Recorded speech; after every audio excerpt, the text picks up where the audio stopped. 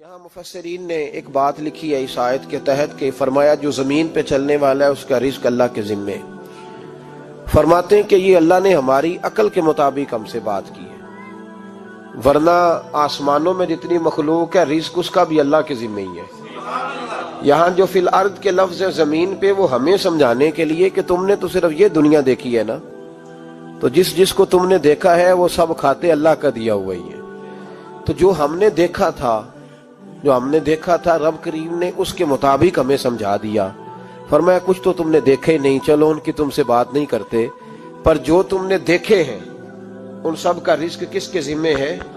अल्लाह के। मेरे महबूब करीम सलाम ने फरमाया, अल्लाह पे भरोसा रख के सवेरे निकल जाना रिस्क की तलाश में। किस पे भरोसा रखना है?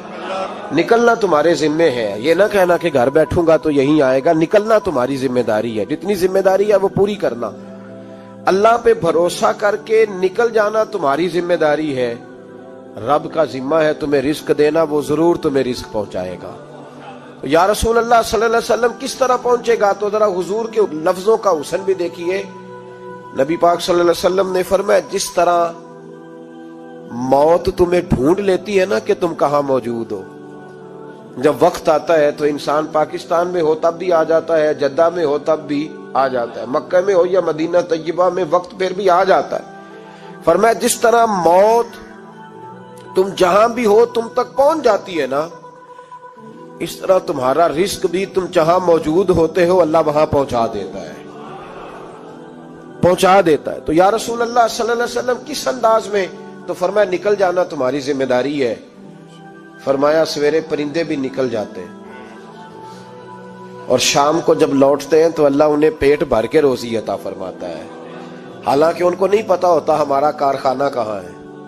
हमने कहा जाके मजदूरी करनी है? उनको नहीं पता होता कि हमारा दफ्तर कहाँ है, हमने किस ऑफ़िस में बैठना है। उनको नहीं पता होता कि हमने कहा जाके माल खरीदना है और कहाँ से हमने फिर उसको दोबारा बेचना है। उन्हें खबर नहीं होती, अल्लाह पे भरोसा करके निकल जाते हैं। निकलना तो तेरे जिम्मे है कि नहीं? फरमाया, वो तो ड्यूटी कर। शाम को अल्लाह जो रब परिंदों को रोजी देता है, वो तुझे भी अता फरमाएगा।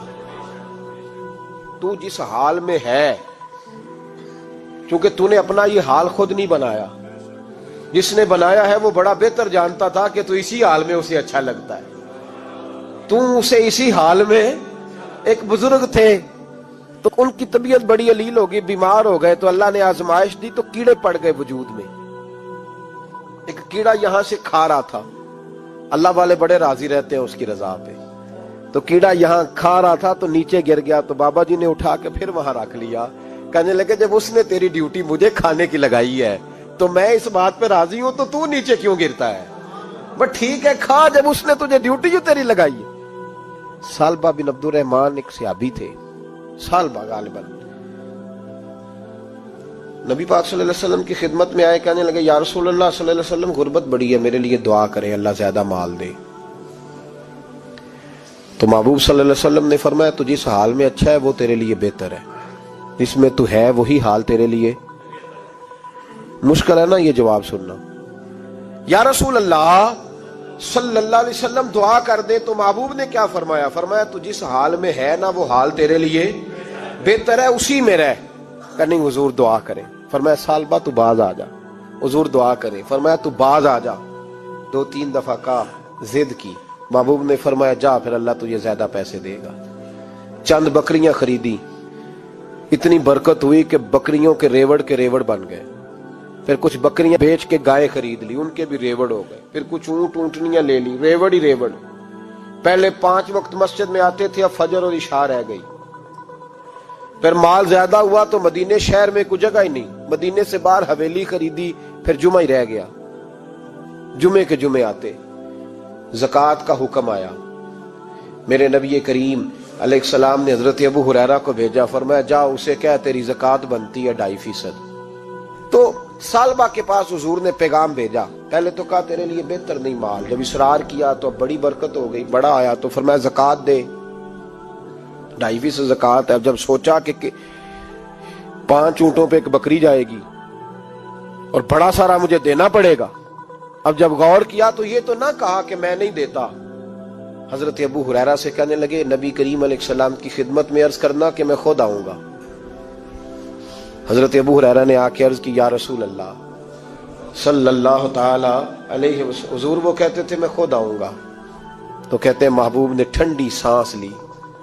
फरमाया, उसे कहा था कि तेरे लिए माल बेहतर नहीं। अब हलाक हो गया हाय अफसोस, हलाक हो गया उनको भी थोड़ी देर के बाद एहसास हुआ कि ये मैंने क्या किया। नबी पाक कोई कह दिया नहीं है। हुजूर को कह दिया, बाद में आऊँगा। अब दौड़े आए। अर्ज़ की, हुजूर, मैं सारा कुछ लेके आया हूँ, कबूल कर ले। महबूब ने फरमाया, गोया बिलाल अफशी की खुश्क खजूर भी कबूल है। और सुहेब रूमी एक अट्टी बान की लाए तो वो भी कबूल है।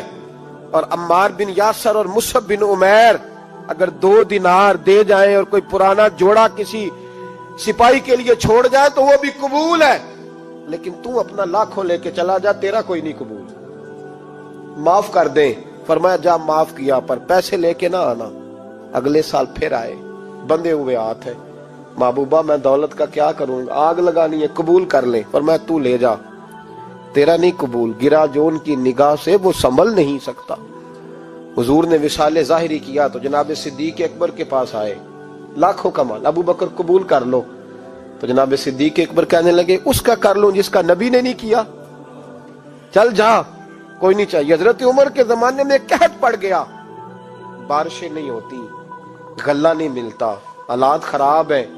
माली तौर पे बहरान आ गया। गुर्बतें, मजबूरियाँ, तकलीफें। आके रोए, उमर मेरा कबूल कर लो, मुझे माफ़ी तो मिल गई थी ना। फरमाया, माफ़ी अपनी जगह पे। पर जिसका मुस्तफ़ा ने कबूल नहीं किया। बहुत सारे लोगों को पता ही नहीं कि उनका कबूल ही नहीं हुआ। और वो उलझे हुए उन्हें खबर ही नहीं कि असल बात क्या है। फरमाया, जिसका मुस्तफ़ा करीम ने कबूल नहीं किया, अब हीरे और जवाहरात भी लेके आए तो भूखे मरेंगे, पर उसका कबूल उस बात पे राज़ी रहो इस हाल में अल्लाह ने रखा हुआ है। उस हाल में राज़ी रहो। ये जो मुसीबत है ना देखने के, वो भी मेरे पास, तुम्हें क्या पता? कभी पूछ तो सही उससे, वो किस मुसीबत का शिकार है, जो माली तौर पे बड़ा अमीर है। तो उसकी तरफ़ देख के अपना दिल बुरा करता है। बस जिस हाल में रब ने रखा है, उस हाल में रह। हज़रत उस्मान गनी के जमाने में तो वो विशाल कर गए। लेकिन भाई, तू जिस हाल में तेरा रब तुझे रखता है, उस हाल में रह, तेरी माली परेशानियाँ। खत्म हो जाएँगी। इमाम शाफी फरमाते हैं, जिन घरों में लोग फजर की नमाज़ के वक्त सोए होते हैं, उन घरों में रिस्क नहीं आता। आप फरमाते हैं, फजर का वक्त अल्लाह के देने का वक्त है। उस वक्त अल्लाह बांटता है। हजूर वसल्लम का फरमान है ना हदीस में, कि ताजुद के वक्त अल्लाह पहले आसमान पे नजूल जलाल फरमाता है, जो उसकी शान के लायक है। ताजद के वक्त, और वो कहता है, मांगो, मैं तुम्हें अता करूँगा। लेने की बारी आए तो बंदा समेट समाट के अंदर घुस जाए। हमारे यहाँ ये होता है कि शाह के बाद बच्चे बैठते हैं मोबाइल लेके। तहजद का वक्त आता है तो उनकी आँखें बंद होनी शुरू होती तो लेने के वक्त तो तू सोया था, तेरा मसला कैसे हल होगा? भाई, जब कोई आदमी खैरात बांट रहा हो तो जो प्याला पीछे कर ले, उसे मिलेगा? कहते उस वक्त आना जब मैं बांट रहा था। अब तू किधर आ गया है? मिसाल दे रहा हूँ। तो फजर का वक्त मांगने का है। तो सारी रात तो गुजर गई गेमें खेलते, टीवी देखते, और जो लेने का वक्त था तू सो गया। तो कैसे आएगा तेरे पास? तो उठे सवेरे, बंदों से मांग के देख लिया, बड़ा, बड़ी इज्जतें खराब हुई। फजर के वक्त उठ के झोली फैलाए।